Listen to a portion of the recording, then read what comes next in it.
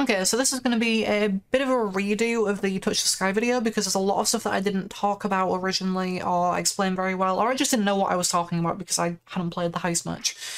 Um, so start off exactly the same, just mask up straight away, go up the stairs, break the vent. Uh, there's a few different ways in through here, you can go down the bottom way and then go through one of the vents if you want, but I still prefer to do this way. Um, I find it a little bit easier because it takes you closer to this woman, who you can just grab and then immediately throw into the bathroom. Uh, so the main thing that I didn't talk about much last time were the guard paths, because there are basically three distinct guards on this difficulty anyway, that patrol the upstairs in very different ways. Uh, you have this guard, who stands here and looks this way, I think. Uh, he stands outside that door, then he walks over here and stands next to the elevator. Um, after standing next to the elevator, he will walk all the way over here and look out this window. And then he will walk into this room, admire this uh, giant face, and then he will walk back out this door and stand over there again. This guard always has the blue key card. This guy always has it, and this guy spawn. This guy is basically the office guard, from what I can tell. Uh, because he spends most of his time standing right here, looking this way, and he also stands on this balcony here and looks over the edge. He will walk over that way and then stare down this hallway, but other than that, he is. But he spends most of his time on this side of the uh, upper floor. This guard, uh, I would honestly recommend just killing him. Um, I would actually recommend just killing two of the guards on this floor in general because they're really fucking annoying. Uh, hello? Yeah. And you spend most of the heist on this floor anyway. Um, especially if you have the upstairs filing room. Uh, that room there can be the filing room. Right now it's the security room, as you can tell by the blue key card, but uh, you don't really need to take out the cameras on this map, to be honest, because you can just loop that camera and loop the camera up there as well, and that will basically cover everything that you need. Um, that camera can see you down this hallway or that hallway, like down the other side. So make sure you don't kill any guards that way unless you've looped that camera and the other one there. Um, but if you're not really killing guards in that hallway, you can just leave these two and you'll pretty much be fine. Uh, you need to start the hack to start doing Wi-Fi circles, and when you get to around two and a half minutes to around four minutes into the heist, the um, lead guard will walk up these stairs. Uh, you can stand here and just kind of ping through it when you start getting like close to the sort of time period, like go. Guard. Watch the guard. Guard. Then you can hack his phone from there. You can slide from up here, by the way, because it's technically a private area and nobody will hear it. Just like that. And then you can get back through the door. I'm also going to hack his radio real quick so I can place a camera on him. This is the lead out, by the way, just in case you can't tell by the uh, mod I have on. He does have giant radios on his back, that's the only indication. Um... Yeah, so that should finish pretty soon. But you don't need to keep the bar open to hack him, by the way. Uh, so now it's time to do Wi-Fi circles, because this game loves Wi-Fi circles. Uh, I would say just do these in whatever order is, like, logical, realistically, like... If the filing room is over there, you can leave that circle there for, like, one of the last ones you do, because it's right next to the filing room. I fucked that up. That's fine, we're going into search now. Um, because for some reason, if a guard has a pager that you would need to answer and you throw them like that, uh, the pager is cancelled. I don't know why. This is going to be a bit more difficult because of that, but it's fine. If you want a non-search version of uh, this video, then uh, watch the original video, I guess. So yeah, the lead guard's path does change at a couple points in this heist. Um, after you open the bedroom, his path changes to include... what the fuck? Uh, his path changes to include the bedroom. He has a couple different ways of walking into the bedroom. He can walk around the left side of the bed or the right side of the bed. I'll explain more when we get to that point.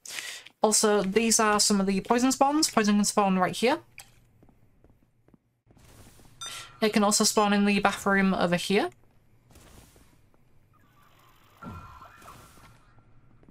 Right here.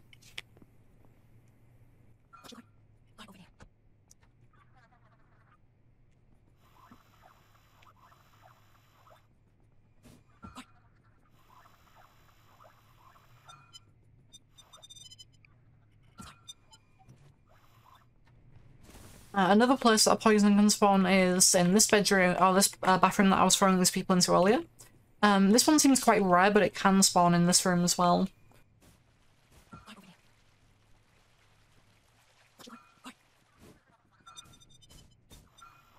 So reaching this bottom filing room can be kind of scary and a bit difficult because of how awkward this whole downstairs area is, but typically I find going through the kitchen there to be kind of okay, and then you can go through this door here. Um, be careful around going around this side of these kind of trees, because if you haven't killed the guard that looks out the window, he can look down and see you. The only way to avoid that guard seeing you is to stay close to the wall like this. Um, also, if when you go into this hallway here, be very, very careful because there can be a guard just standing here and looking down this hallway.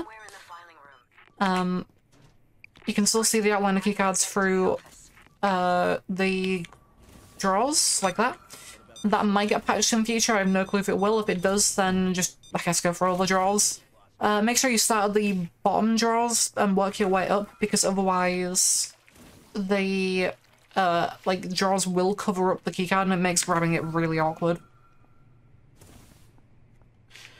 Uh, so now we have the keycard done and the Wi-Fi circles done. We have two choices where I want to go.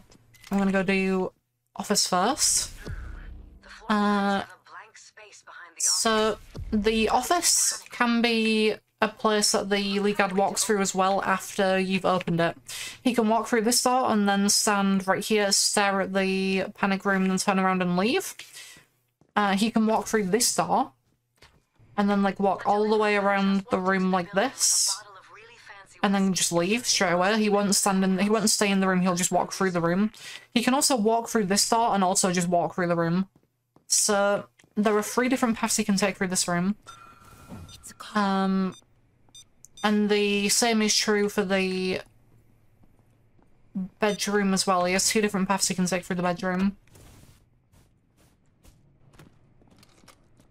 Okay. sure. Uh, so in the bedroom, he can walk into the bedroom and then walk around this side of the bedroom, walk around the side of the bed rather, stand here, stare at the panic room. He can also walk around this side of the bedroom and then stand here and stare at the vault. I call it a panic room, it's a vault. Um, also, the delivery guy, who should be on the way now, uh, when he arrives, the door is opened like that. Uh, if you want to be able to close this door, the front door, you need to make sure that you um, unlock and open the door before the delivery guy arrives. Because once the delivery guy arrives, the door is forced open and it cannot be shut again. So if you want to be able to shut the door, you need to have the door already open. The only way to do that is to jump down to it and then unlock it.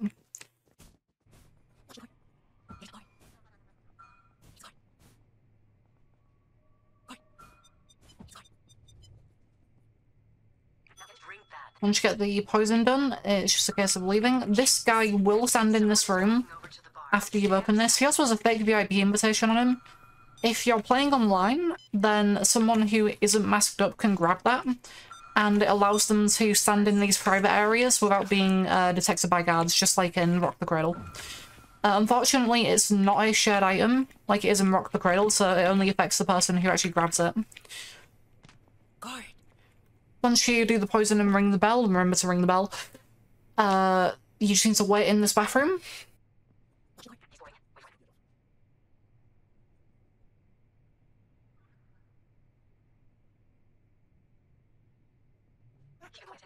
So I would recommend closing the door before grabbing him, especially if you're in search, because a guard might just randomly see you doing it, which is not how I failed a run. Absolutely not. Okay, so once Mason gets in here, you can immediately fail because apparently a guard was standing halfway staring through the door for some reason. Cool. Um, once you get Mason, getting up these stairs is a nightmare sometimes, but there's nobody here. Basically, just do what I just said. Just kind of edge your way up the stairs, make sure that camera's not looking, make sure there isn't a guard stood there.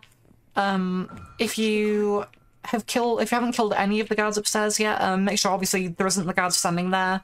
Make sure there isn't a guard walking down that hallway towards you. Just be very careful, obviously.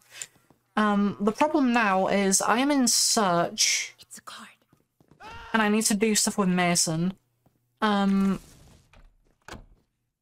so, if you're not in search, you can pretty safely just throw Mason into this corner. However, if you're in search, there is a chance that guards will just wander into the panic room. And if that happens, they see him and they call the alarm. So, um, good luck, I guess. Uh, I didn't write down the codes, they were on the whiteboard, but I, this is a failed run, so I already knew what, I already know what the code is, I think? Yep. Uh, and then... Just open this and make sure while you're entering the code, by the way, that the lead guard doesn't walk in right next to you because that can happen and it's really, really sad. It's a really sad way to lose a run. It's just having the lead guard walk next to you while you're opening the thing. So my digits, uh, 1480. Uh, make sure you look at this from the side, by the way, because the 6 can be really hard to see if you're looking head on it and it's got like fingerprints on it. Um, it's really difficult to see for some reason, so it's easier to look at it from the side like this. Um, so was it 148? Uh, that's uh, 184. Well, there are a couple ways of getting all of these bags out in stealth if you really want to. Um, in the current version of the game, at least, extra loot bags aren't really worth the time or effort it takes to get them, especially with the game being so completion heavy right now in terms of like the challenges wanting you to uh, complete heists rather than get bags. Um, so there isn't really much point in getting these on any, like, bonus bags on any heist, realistically. Um, but if you want to get these, there's a couple ways of doing it. Uh, you can use the vents.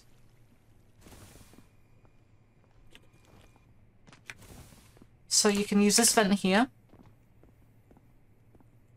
And just throw bags into it like that. Uh, you can also... I guess I'll use the bags from the panic room actually instead of going over that's like that's further away. You can also use that vent.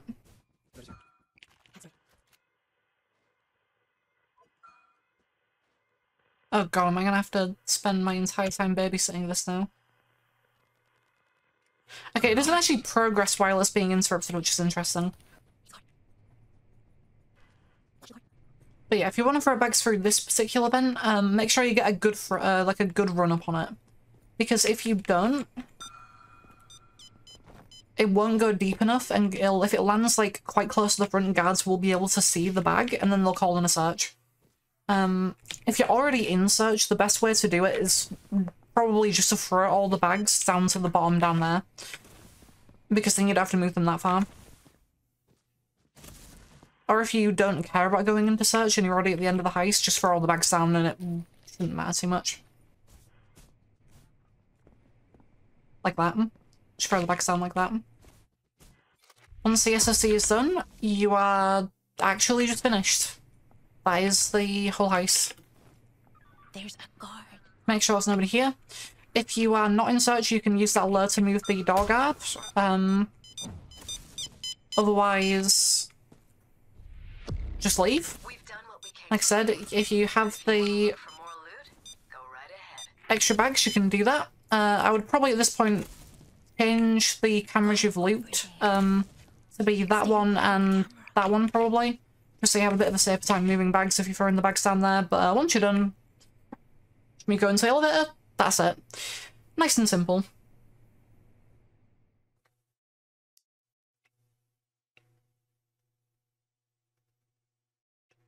hopefully this video had a bit more information on certain things that I uh, skimped on last time.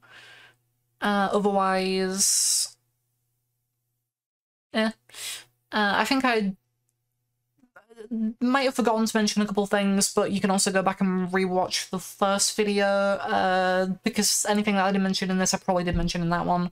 This one was kind of just more of an addendum to correct a few things that I got wrong, or add a bit more information for particular things that I didn't know about at the time. Uh, mostly for my peace of mind more than anything, so that I know the um that I've I've listed everything that's important. Um, I don't know what I'll do after this, or if I'll do any more of these. I might. I'm not sure. I think most of the other stealth heists in this game are pretty straightforward and simple. Um, don't really need anything like complex for them. That'll be it, I think. Um, I'm gonna go now.